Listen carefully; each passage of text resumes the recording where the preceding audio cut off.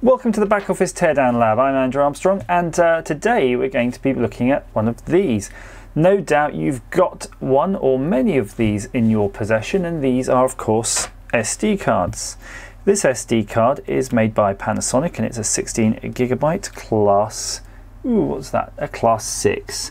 And uh, the problem with this card is it's become very unreliable over the last few years, and I can't trust it anymore. So it really is not worth the time or the cost to see what's wrong with this um, at software sort of level. There's no point debugging it, put that way, versus the data cost of losing, say, an interview on video. So what I'm going to do is just see if I can open this up for your pleasure so we can see what's inside uh, one of these. Um, I'm going to make a guess because I've opened one up before, not this particular brand, and it was only a little tiny chip about this big, about yay big. But you know, who knows? We don't really know what's inside these until we actually delve deeper. So we've got a locking mechanism here, all these little features. So I'm just going to start working it at that edge because I think that will give me a more likely in because there's going to be a hole in the case. Ah, here we go. Do you see that?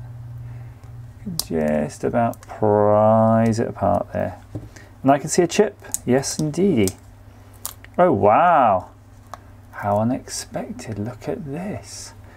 Now, this is a rare pleasure because you don't normally get this level of complexity in SD cards anymore. So what we'll do, let's just zoom in a touch more. There we go. How's that? A chance to have a look. So here's two Toshiba flash memory chips.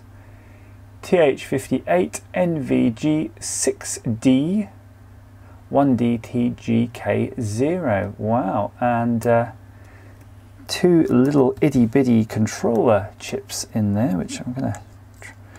It's a nice PCB as well, look.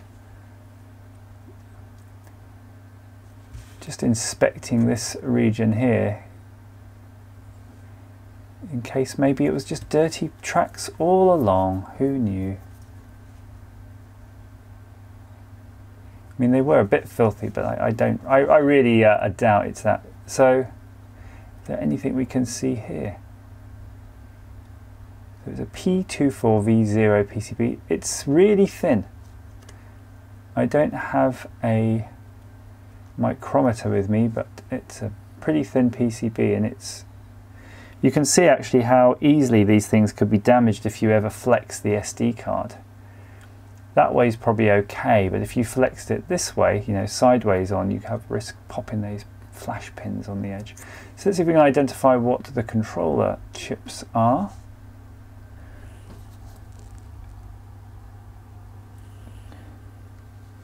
Those are these chips down here. They're very hard to see, but you know, you've got a 950098 two of those as well.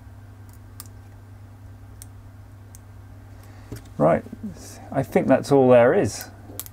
So those are clearly responsible for the data getting pushed to these. Yeah. There we go, nothing but just standard flash chips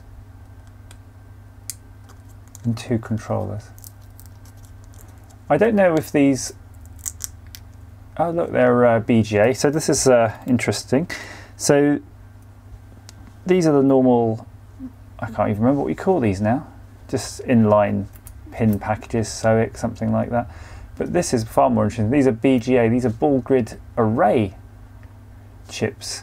So you can see the pins are all underneath the chips in a sort of a matrix, um, as opposed to just along the edge. Um, these are really can be tricky if you're actually doing your own PCB prototyping to put these down because they really don't want to go on the board. it's very hard to rework them later. So that's what's inside one of these older Panasonic memory cards. Now you don't have to rip them open yourself. And if when you want to get rid of them, I don't know, just crunch them up and recycle them. As ever, thank you for watching.